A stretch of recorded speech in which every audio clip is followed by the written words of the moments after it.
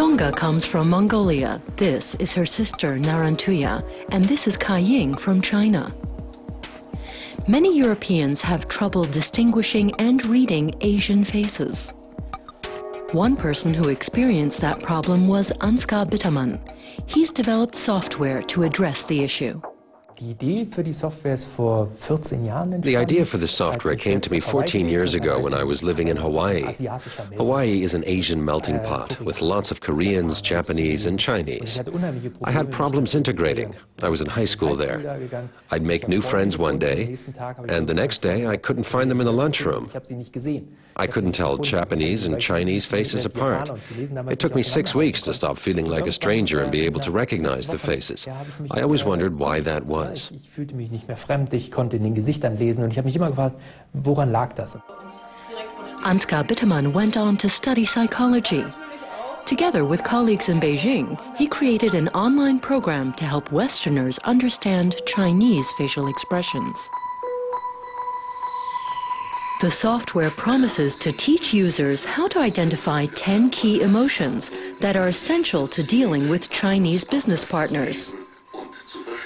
It helps users learn about Chinese culture and social interactions.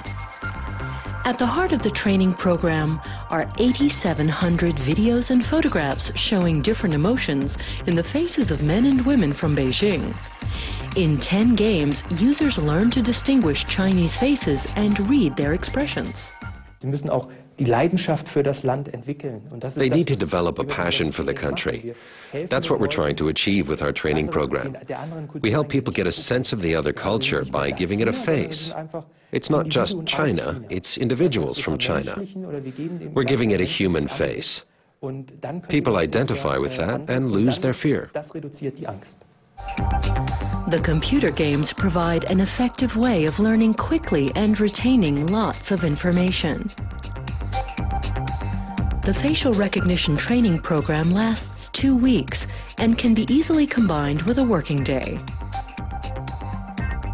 Sebastian Paschold practices every day after work to be better equipped for his business involvement in China.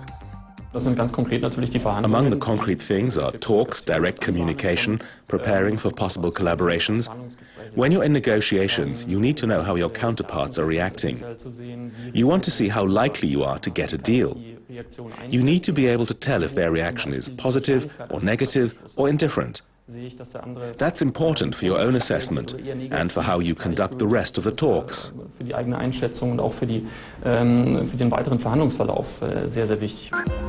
Reading facial expressions correctly is crucial in situations where security is at stake.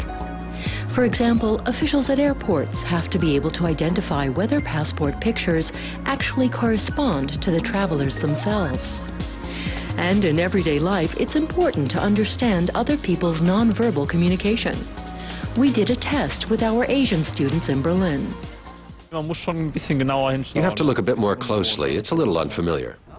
Which of the four is looking sad? Sorry, I don't know. I'd say probably because they come from another culture, it's hard to recognize here. And that goes for Asians too.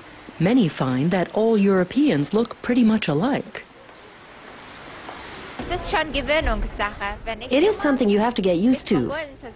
When I'm together with Mongolians, I recognize their emotions easily. But when I go abroad, at first all the faces are strange, and I find it really hard. But of all the different and sometimes confusing facial expressions, almost everyone everywhere will recognize this one.